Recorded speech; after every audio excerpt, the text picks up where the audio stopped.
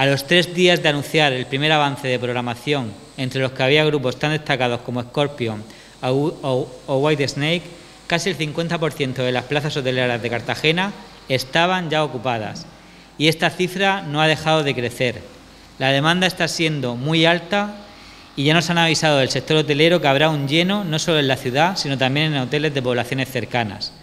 Desde el Ayuntamiento vamos a hacer todo lo que esté en nuestra mano para que el turismo de eventos culturales y deportivos aporte riqueza a Cartagena. Hoy se van a dar ya a conocer 25 grupos más que formarán parte de esta primera edición, de los que destacan Avantasia y Europe.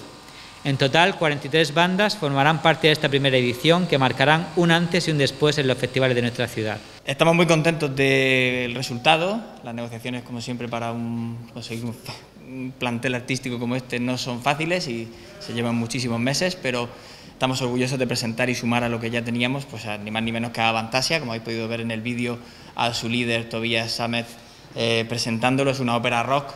Eh, de dos horas de duración, que una base teatral con una escenografía impresionante y es un show que, llamará mucho la atención a quien no lo conozca y por supuesto atraerá a muchas personas de toda España y de parte del extranjero a disfrutarlo.